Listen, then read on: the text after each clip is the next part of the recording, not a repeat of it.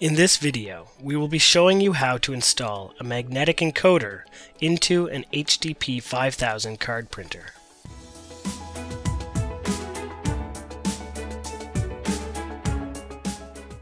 Before you start, you will want to remove power from the printer by pulling the cord out from the back of the printer. And then open the front cover and remove the film cartridge.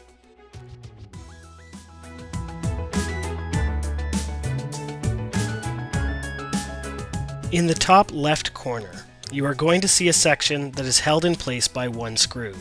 You will want to remove that one screw and then use your screwdriver to pry that section out a little bit and remove it the rest of the way. Then you will take your magnetic encoder and slide it into that section and push it in until you hear a slight click. And you can replace and then rescrew in that top section.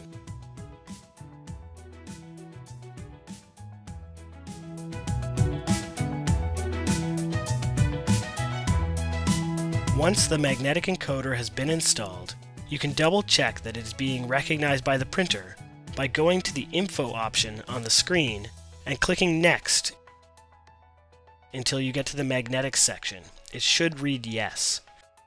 If it doesn't, open it back up and double check the connection with the magnetic encoder.